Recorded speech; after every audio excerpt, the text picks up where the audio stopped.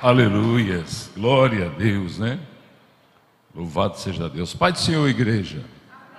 Aí a gente lembra daquele hino de Ananias que diz: Não posso te deixar, Jesus, né? Lá quando Antônio ensaia aquele hino, aquele hino é bonito, viu? Muito bom. Amados, vamos trazer uma palavra do Salmo 125. É um dos, dos salmos mais conhecidos da Bíblia. É um cântico dos degraus. E a epígrafe, o título desse salmo é A Segurança daquele que confia em Deus. Louvado seja Deus. Pronto. Salmo 125, atribuído a composição deste salmo ao rei Davi. A palavra diz: Os que confiam no Senhor serão como o monte de Sião que não se abala, mas permanece para sempre. Como estão os montes à roda de Jerusalém, assim o Senhor está em volta do seu povo desde agora e para sempre. Porque o cetro da impiedade não permanecerá sobre a sorte dos justos, para que o justo não estenda as mãos à iniquidade. Faze bem ao Senhor, aos bons, aos que são retos de coração. Quanto àqueles que se desviam para os seus caminhos tortuosos, levá-los-á o Senhor, com os que praticam a maldade, paz sobre Israel. Amados, esse salmo é de uma composição tão belíssima, porque os montes de Israel, eles têm significados muito especiais. E para você explicar o significado desses montes, você teria que fazer uma pregação de uma hora para cada monte desse, para dar uma noção mais ou menos do que são esses montes.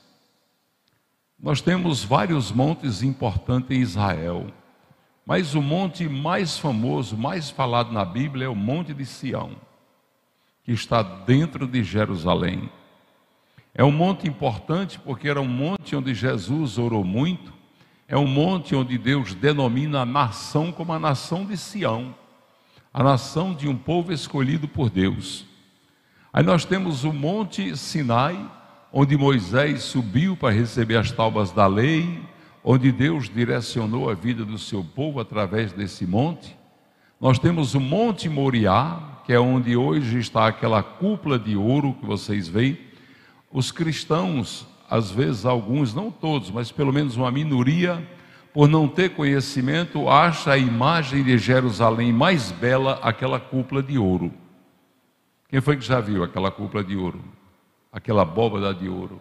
Aquilo ali não é nosso, não é dos cristãos. Aquela cúpula de ouro foi construída por um califa, por um muçulmano, chamado Omar. É chamado de o Domo da Rocha chama de o Domo da Rocha, a Mesquita de Omar. Por que o Domo da Rocha?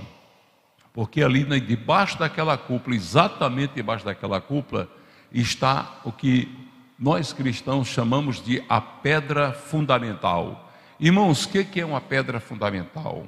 Você vai construir uma igreja, você chega lá com os irmãos, para consagrar aquele terreno, você bota uma pedra fundamental. A pedra simboliza que naquele lugar será construído isso. Ali debaixo daquela cúpula está a pedra fundamental. Para os muçulmanos, foi dali que Maomé foi arrebatado com jumenta e tudo para o céu. Existe uma marca na pedra lá que diz que foi até o casco da jumenta. Eu acho até que Deus deu uma pancada muito forte nessa jumenta para ela marcar aquelas pedras. Mas para nós cristãos, a pedra fundamental simboliza o lugar onde Deus lançou a construção da cidade santa da Nova Jerusalém. Porque a palavra de Deus diz que a Nova Jerusalém está sendo construída no céu, mas que ela descerá sobre Sião e ficará naquele lugar. Aquele lugar é o lugar central de toda a humanidade. Se você medir dali para qualquer distância do mundo, está no centro do mundo. É dali onde, segundo a Bíblia, Jesus Cristo vai estabelecer o governo milenar dele. E a palavra diz que Deus está em volta, Quem está em volta é para quê? É para proteger. O vigia, quando ele vigia uma casa, você às vezes paga um guarda para ficar à noite na rua, ele passa de vez em quando na sua casa, ele fica rodando no quarteirão. Está dizendo que Deus está à volta do Monte Sião. Além do Monte Sião já representar Jesus Cristo, que é a rocha verdadeira, além de toda essa segurança, a palavra ainda vai nos dizer que Deus está à volta. O diabo está ao derredor de nós, rugindo como um leão, buscando a quem possa tragar. A derredor é mais por longe, mas Deus está à volta. A volta é perto, Ele está aqui em minha volta, Ele está aqui pertinho de mim. Se o diabo circula lá por fora, Deus circula bem aqui, ó, juntinho de você para lhe guardar e lhe proteger de todas as coisas ruins que possam lhe acontecer. Este salmo davídico Davi vai dizer neste salmo que o cetro da impiedade não permanecerá sobre a sorte dos justos, para que o justo não estenda a sua mão à iniquidade. Os irmãos sabem o que é cetro. Cetro era um instrumento usado pelos reis para determinar a decisão dele. Quando o rei ia julgar alguém, o rei pegava aquele cetro de ouro e quando ele olhava, ele tinha duas pessoas na frente dele. Ele olhava e dizia: Você está com a razão, a causa é sua. Ele estendia aquele cetro. Quando ele estendia, ele estava dando uma sentença. Então, quando diz que o cetro do ímpio não vai permanecer contra o justo, está dizendo que o intento do coração do, do ímpio não vai permanecer sobre o justo. Está dizendo que, mesmo que o ímpio deseje o seu mal, ele não vai conseguir. Por quê? Porque Deus está à nossa volta para nos guardar, para nos proteger, para nos livrar de todo perigo, de toda maldade. Este salmo é um salmo protetivo é um salmo onde Davi termina ele dizendo o seguinte: ele diz assim: Faze o bem, Senhor, aos bons, aos que são retos de coração. Ele está dizendo porque Deus abençoa os bons. Os bons aos olhos de Deus são os filhos e as filhas dele. São aqueles que fazem a vontade de Deus, são aqueles que caminham com Deus. E ele finaliza dizendo: quanto àqueles que se desviam dos seus caminhos tortuosos, levá-los ao Senhor, com os que praticam maldade. Paz haverá sobre Israel. Ele está dizendo assim: quanto àqueles que não faz a vontade de Deus e quer fazer mal a quem faz, Deus vai levá-los. Como é que Deus vai levá-los? Deus vai afastar. Ele está dizendo: Deus vai tirar de perto de você todo aquele que tenta contra a sua vida. Paz seja sobre Israel. Para que que Deus vai tirar? Porque Deus vai afastar quem rouba a sua paz, quem tenta de destruir, quem não quer a sua felicidade, para que você tenha paz. Quando nós estamos perto de alguma pessoa que é falsa conosco, de alguma pessoa que ora contra nós, de alguma pessoa que nos inveja, de alguma pessoa que de uma forma ou de outra atrapalha a nossa vida, essa palavra está dizendo que Deus vai levá-lo, vai afastá-lo, vai tirá-lo. É por isso que muitas vezes a gente não entende na nossa vida esse agir de Deus. De repente alguém está na sua vida e você fala: Fulano nunca mais apareceu, nunca mais me ligou meu aniversário nem apareceu, todo ano me dava um presente, todo ano vinha me ver e agora sumiu, não me liga mais. Eu mando uma mensagem, não responde, é como se não visualizasse, é como se não visse. Você não está entendendo, é porque Deus escuta o que você não escuta. Deus sonda o coração daquele que não te deseja o bem, daquele que te deseja o mal, e aí ele vai o que? Vai levá-lo. Levá-lo está dizendo a mão poderosa do Senhor Vai para lá. Sai de perto do meu filho, sai de perto da minha filha. Você não vai atrapalhar, você não vai ser pedra de tropeço, você não vai desmanchar os planos e os projetos que eu tenho na vida deste filho e desta filha. Quantas pessoas Deus não afastou de Davi? Deus afastou Saúl de Davi. A palavra vai dizer no capítulo 16 de 1 Samuel que Davi amou Saúl. Olha aí, está escrito. Davi amou. Amou, irmãos. Quando, quando a Bíblia diz que amou, Não é amar da boca para fora, não. Abra aí, só para a gente conferir. 1 Samuel 16. Até eu li aqui essa palavra outro dia. Porque às vezes a gente insiste em coisas que Deus já tirou. A palavra 1 Samuel 16, versículo 21. Pastor Saraiva, como é que está? A careca hoje está brilhando, está bonita. É o brilho do Espírito Santo, né, irmão? 1 Samuel 16, versículo 21. Assim Davi veio a Saul, esteve perante ele, e o quê? E o amou o quê? Muito. E o amou muito. E foi o seu pajem de armas. Davi veio a Saul socorrer Saul. Saul estava com o espírito atormentado, estava angustiado Davi tocava a harpa, Saul descansava. Mas na hora que foi despertado no coração de Saul a inveja, Saul quis a morte de Davi. E o que foi que Deus fez? Deus tirou Saul do trono. Primeiro tirou Davi da casa de Saul, levou Davi para os montes, para as montanhas, para a caverna de Adulão, separou, venha para cá, Davi. Venha para cá porque ele quer te bater, ele quer te matar. Eu vou te guardar. Venha para cá, meu filho, venha. Você vai ficar sozinho aqui, mas eu estou com você. Vou te guardar, vou te proteger, vou levantar um exército, porque você nasceu foi para vencer, porque você é meu ungido, você é meu escolhido. Ele está querendo te matar, ele não entendeu o teu amor, ele não é grato, ele é ingrato, ele não te merece. Venha para cá. Entenda que tem hora que Deus faz assim. Com você que ama a Deus, Deus faz assim. Deus traz para perto dele. Agora, com quem não é, está escrito no Salmo 125: Deus afasta. Afasta dele e afasta de você. Aí Deus levantou Jonathan, filho de Saul, dentro da casa de Saul para ser amigo de Davi. Isso nos traz uma mensagem, sabe o que? que muitas vezes quem a gente pensa que seria nosso inimigo é nosso amigo. E quem a gente pensa que seria amigo se constitui inimigo. Que muitas vezes a pessoa não entende. Davi tinha o que para Saúl ter inveja? Nada. Davi só derrotou Golias. Davi ajudou Saul. Davi foi o pajem de arma. Pajem de arma era aquele jovem que cuidava das armas do rei. Polia as armas, amolava, os punhais, as espadas, dava o polimento no escudo, passava o azeite no broquel, que era tipo um colete à prova de bala, de lanças. Ele cuidava das coisas de Saul. Mas só que quando o povo começou a dizer Saul mata mil, Davi mata dez mil. Saul mata mil, Davi mata milhares. Só foi Davi defender Saul, o reinado de Saul estava sendo envergonhado pelos filisteus, despertou-se a inveja.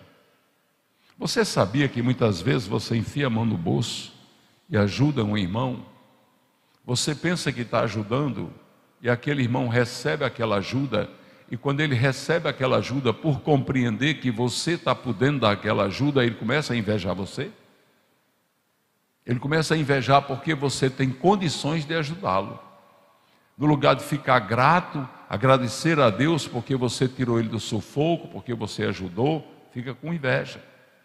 Irmãs, até um vestido que você empresta, aí eu estou sem vestido para ir para a festa, não, eu lhe empresto um vestido, eu tenho lá. Tem irmã que tem um coração tão bom que diz: Eu tenho lá em casa que eu nem usei ainda, mas vou lhe emprestar. Tem um par de sapato também que não você calça.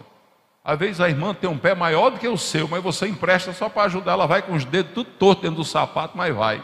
Alopra o sapato, esfolota o sapato, acaba com o sapato, mas seu coração bom dá. Mas só que ela vai com inveja, porque você tem e ela não tem. O que era que Davi tinha que Saul não tinha? Humildade. A humildade de Davi, a unção de Deus sobre a vida de Davi, tornou Davi o escolhido e, Saul o rejeitado. Essa palavra é uma palavra para a gente entender três coisas, irmãos. A primeira coisa, tem gente que está na nossa vida que Deus vai tirar. Você ama, você não quer, mas Deus sabe que ele não pode, ele ou ela não pode ficar do seu lado, porque ele prejudica, porque ele atrapalha, porque não é um amigo, uma amiga, é uma pedra de tropeço na tua caminhada com Deus. Essa é a primeira coisa. A segunda coisa, nós nunca devemos mostrar para os invejosos o que Deus tem nos dado. Você sabe o que é que as mulheres gostam de fazer? Leva para o close, abre a porta do guarda-roupa fala: Olha aí o tanto de vestido que eu tenho. Olha aqui os calçados. 30 par de calçado. A invejosa olha os sapatos, muda de cor, tudo e na hora. Tamanha inveja. Deixa de brilhar. Sandália, tem sandália que solta até os cadastros, é um negócio terrível, sabe? Não faça. O rei Ezequias mostrou para o rei Assírio o que Deus tinha dado a ele Deus não gostou. E vocês sabem o que aconteceu. O rei Assírio depois veio atrás tomar o que ele tinha. Tem coisas que a gente tem que ficar calado.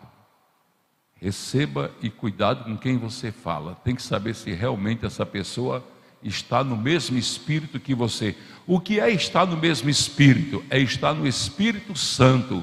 Porque quando você está no Espírito Santo, você é santo. Mas tem gente que não pode. É um negócio tão interessante que tem gente que fala: Olha, irmão, o carro novo que Deus me deu, olha aí. Aí o invejoso olha, rodeia.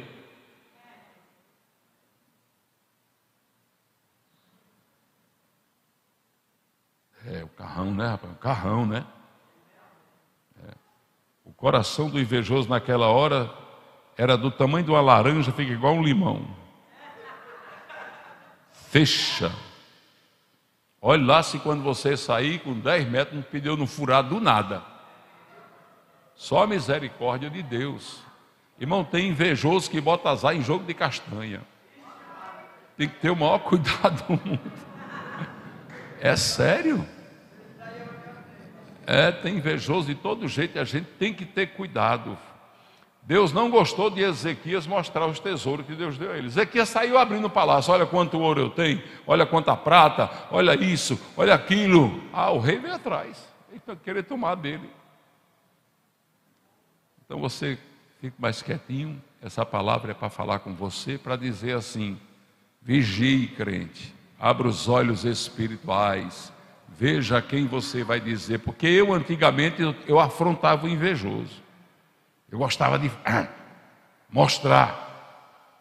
Quando eu sabia, eu gostava de mostrar, era para o invejoso mesmo. Mas Deus me repreendeu. Falou: não faça. Eu estou dando é para você, não é para ele. Aquilo que Deus dá a você é para você. Sabe aquela moedinha que você bota no porquinho? Você guarda lá no porquinho, ninguém sabe que você tem. Se José tivesse ficado calado, não tinha passado tudo que ele passou. Deus ia usar ele do mesmo jeito. Deus usou, mas olha o processo que ele passou. Porque ele contou o sonho dele, a revelação que Deus tinha dado. Então, segure um pouco a boca. Quem fala muito dá bom dia cavalo, diz o ditado popular, né?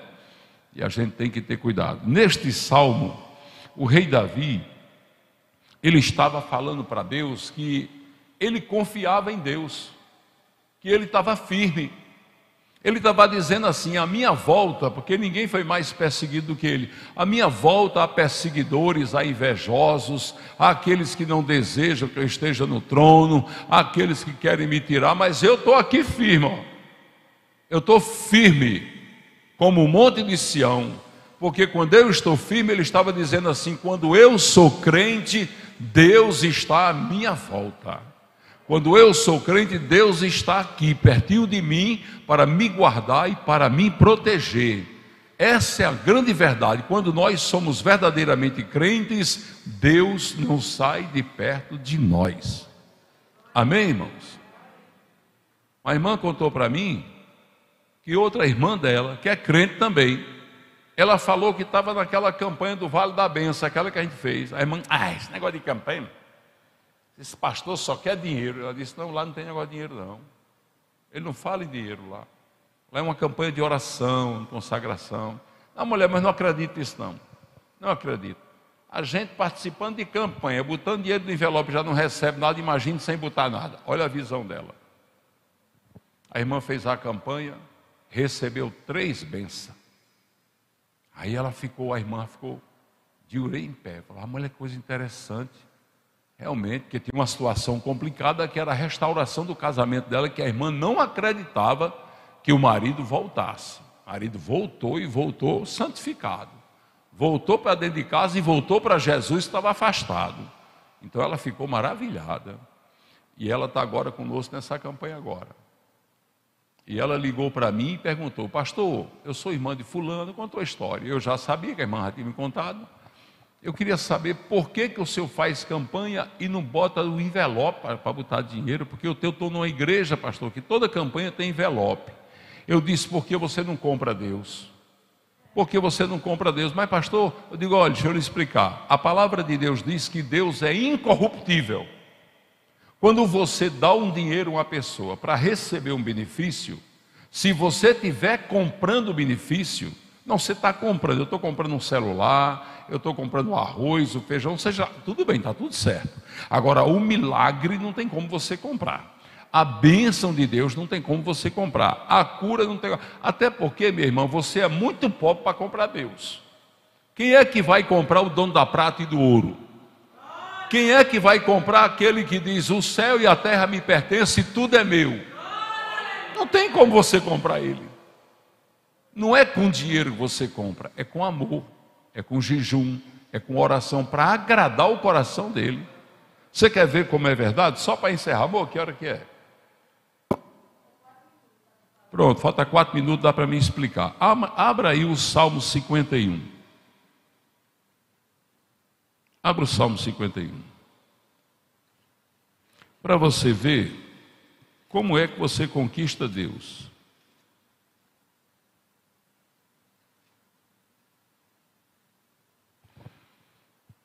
Salmo 51. Esse salmo é o salmo do arrependimento do pecado de Davi com Batseba. Olha os versículos 16 e 17. O que é que ele diz? Porque te não comprases em sacrifícios. O que é que ele está dizendo?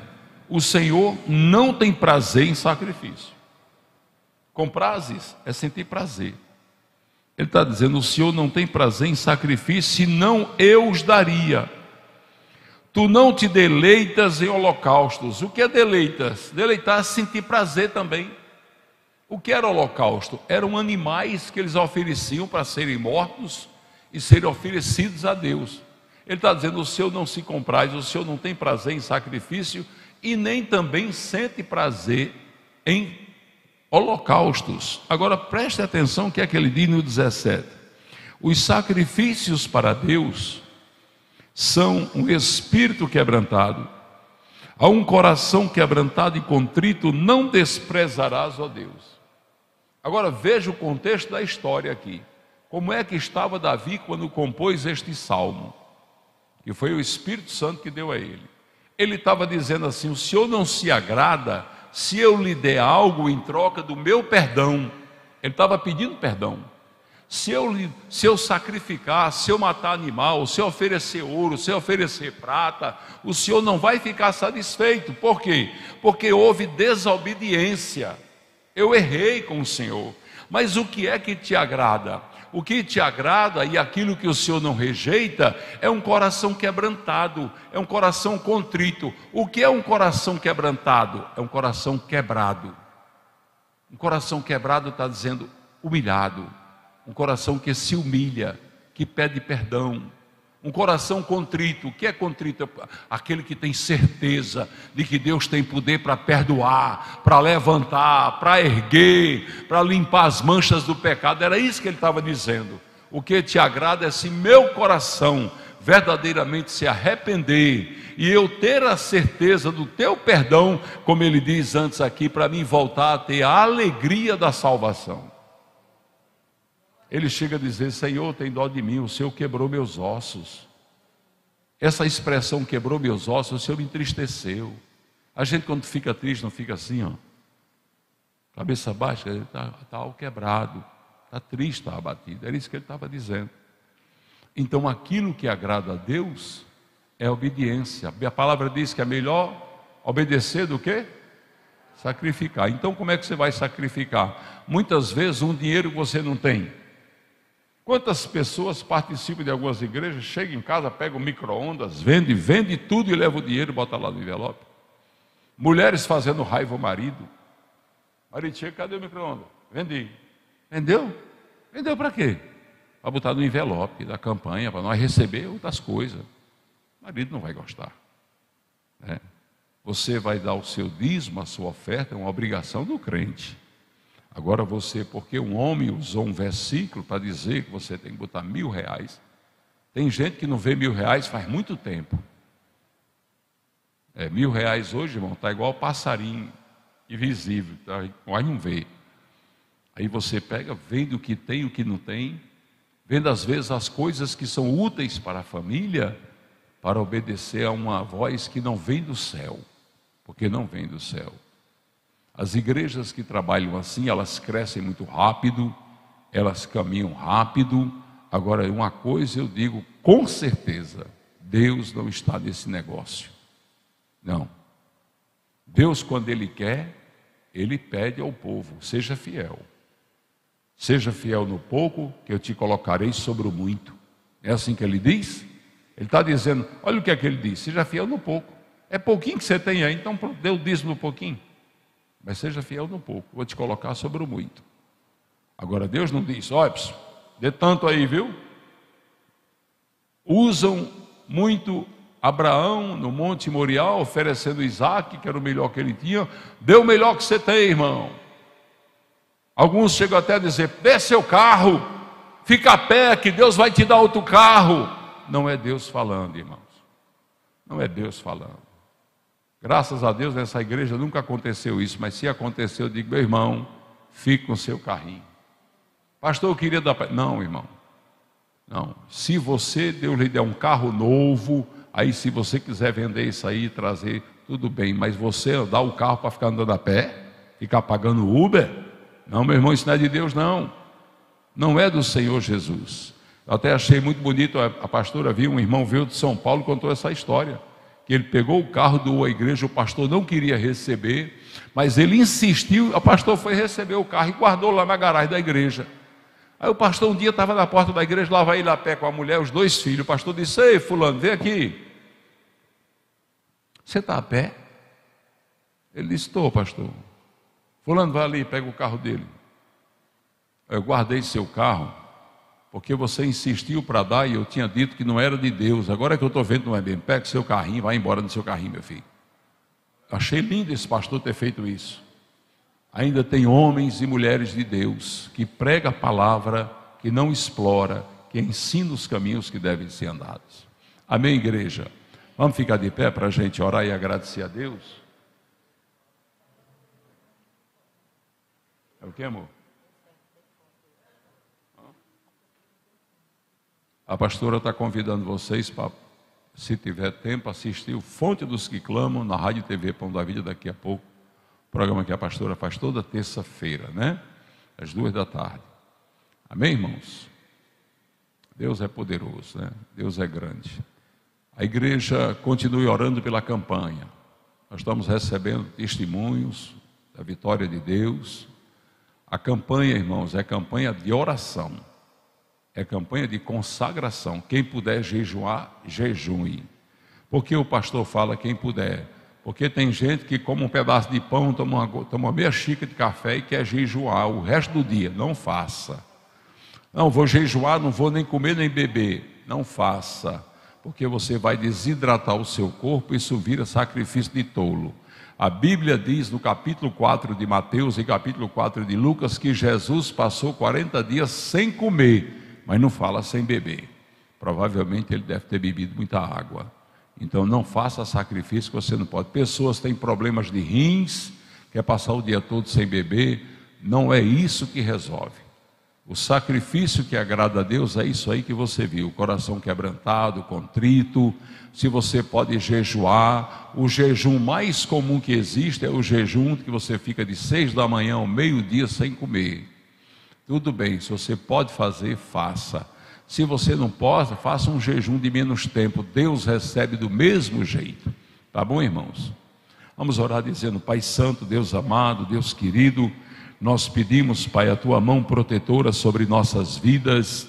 A tua palavra hoje diz que o Senhor está à nossa volta, nos guardando, nos protegendo, nos livrando, meu Deus, de todo perigo, de toda maldade. E nós glorificamos o teu nome, Paizinho querido, e agradecemos por tudo de bom que o Senhor tem realizado. Que a tua palavra esteja em nossos corações que a direção do teu Santo Espírito seja a nossa direção. Deus nos faz andar pelos retos caminhos da justiça, por amor do teu santo nome. Livra-nos de todo perigo, de toda maldade, de toda enfermidade. Guarda a tua igreja, como o Senhor tem guardado sempre. E nós agradecemos, Paizinho, em nome de Jesus Cristo. Amém. Igreja, somos mais que vencedores. Nós somos mais que vencedores.